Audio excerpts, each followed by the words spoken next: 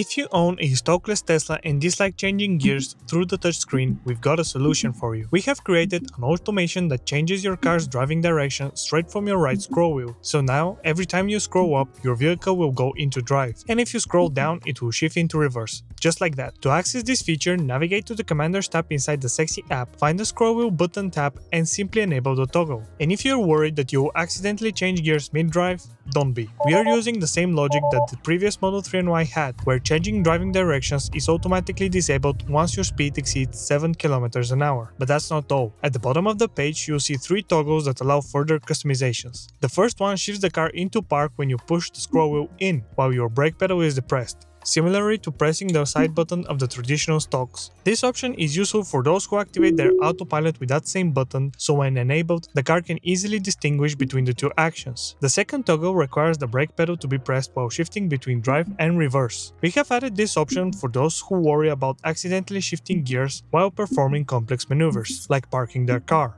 And the final one came from our friend Tesla Bjorn, who has been using our products since day one. He suggested we add an option for an inverse direction shift, meaning when you scroll down the car goes into drive and when you scroll up it will shift into reverse. Traditional stalks use the same logic, so this toggle will do just that. Give this feature a try. We think that everyone will find it useful regardless of whether your car has stalks. In addition, we are planning to make the right scroll wheel fully customizable with features such as controlling the regen, switching between acceleration modes, and much more. So feel free to comment and let us know which action you would add to your right scroll wheel.